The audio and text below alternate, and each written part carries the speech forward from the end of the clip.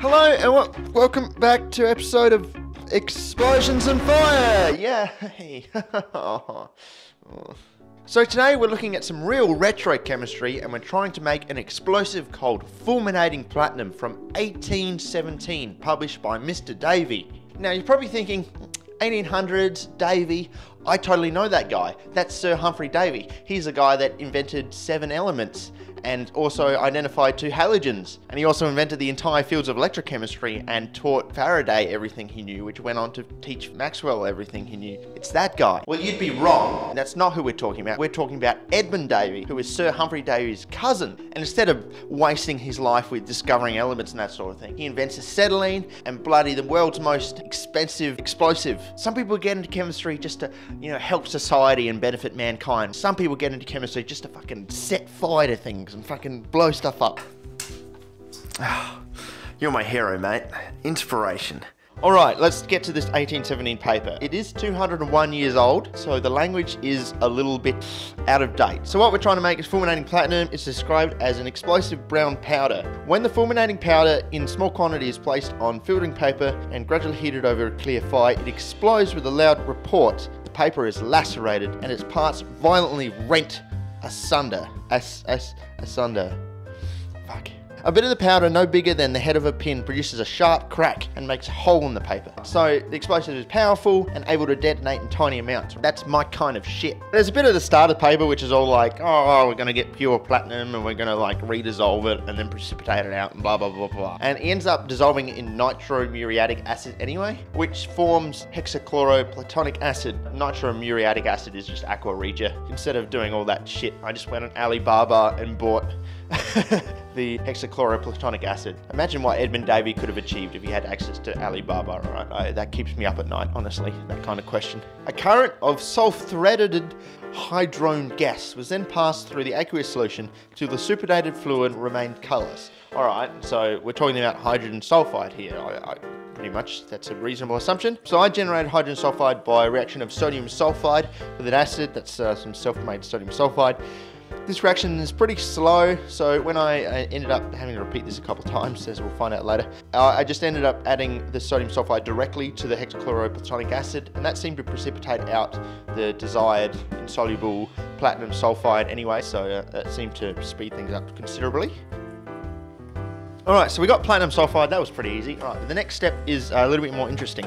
The hydrosulfuret of platinum, after being well washed and partially dried, was converted into sulfate by the agency of nitrous acid. Now, nitrous acid is a real thing in chemistry at the moment, but it's, yeah, it's an unstable compound that's like the reactive species in a diazonation. Uh, that reaction, the diazonation, wasn't actually discovered until 50 years after this. So I don't think the nitrous acid that he is referring to is the same nitrous acid that we would refer to. So my theory was that the term nitrous acid is actually referring to red fuming nitric acid, where like the nitrous bit is referring to the red nitric oxides. I was like, well, how the fuck is this going to work anyway? Like, I can't see this working. But amazingly, we see a violent reaction that gives off a lot of fumes and the platinum is brought into solution. We take a step back from the ship posting for just one second, it's actually quite uh, nice to appreciate how neat the chemistry is really. What we need to do to get this explosive platinum complex is we need to coordinate ammonia to the, uh, the platinum, but we can't do that when there's any chlorine around. Well, that's my theory anyway. It's not really an easy thing to do to like kick off the chlorines around hexachloroplatinic acid, but Edmund Davy here has managed to do it in two steps, right? We precipitated out as a sulfide and then we brought it back in solution as, well, theoretically a sulfate. So some pretty super slick chemistry. It's, it's quite nice. Oh, mate, I'm going to build you a shrine. Back at it. Treating the aqueous solution of sulfate with ammonia. All right, so we I do that and then get a very, very small amount of precipitate.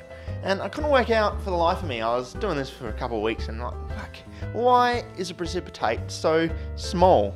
And then I finally, buddy, I'm a bit of an idiot, but it also wasn't really mentioned in the paper, is the fact that this product is amphoteric. So the solution still has to be acidic and you add a certain amount of ammonia and the stuff precipitates out. But if you add too much ammonia, then the whole thing resolves. It's worthwhile to mention, I have no idea what's going on with the chemistry at this point. It, it's a white complex, a white platinum complex, which is very strange. I just assume it's an ammonia coordinated to the platinum, but why is it white? Precipitate thus obtained was partially dried. It was then put into a flask with a strong solution of pure potash. Potash is an old term for potassium carbonate, right? So I know that term. Problem is I don't fucking have any, so...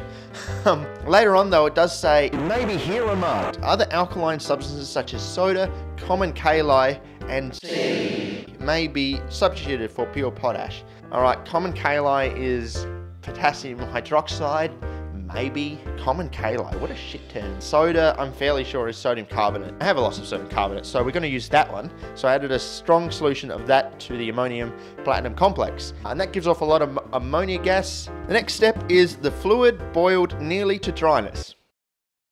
Oh, good. The old boil the fucking super sensitive, super powerful explosives until it's nearly dry. Are you cheeky bugger? You're trying to kill me, aren't you? You're trying to kill me, you sly dog. Uh, we do that for quite a while, and we're meant to end up with some solid matter, but I bloody didn't end up with anything. I bloody did all this, and no, no solids came out of it. Just a weird, kind of nearly brown solution.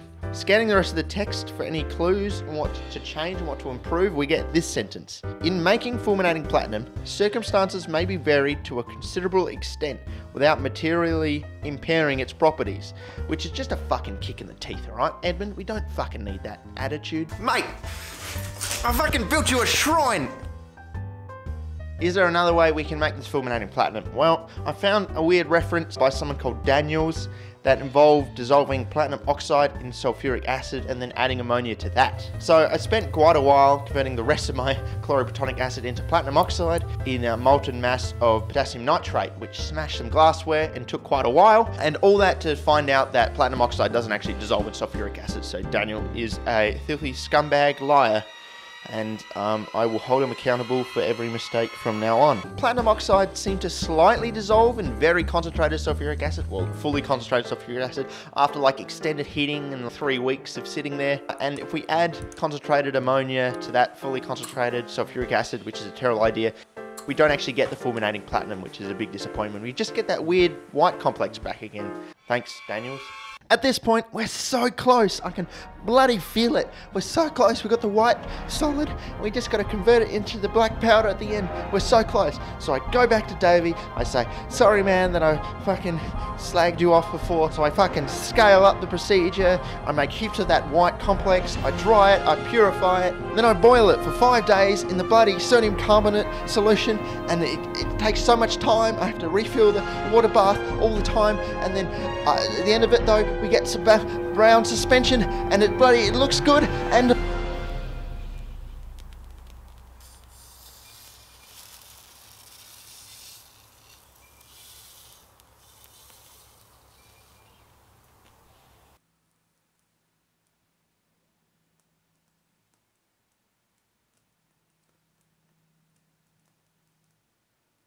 Oh, just work, you fucking mongrel thing. Of course, it fucking is not explosive.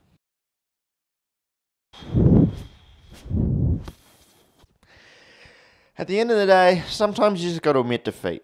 Some explosives, they're just too good to be made by like mere mortals like me or you. We, we just can't make them. They can only be made by fucking God amongst men like Edmund Davy. So I'm not even mad that this explosive got lost to time. What chance did I have? I love you. I'd like to thank all the support of my Patreons that a lot of people came on board over the months, even though I wasn't posting content, and that, that really encouraged me to keep going with this project. So thanks a lot for that. I have a Discord server. It's a lot of fun. It's quite active. Uh, and if you like shit posting, you like chemistry, and you like shit posting about chemistry, then you know this is a, they're a really great community there. And um, yes, I've got to bloody make up some explosions in the next video. Oh man, I feel like I owe you guys some explosions. I owe myself some explosions, let's be real. Food.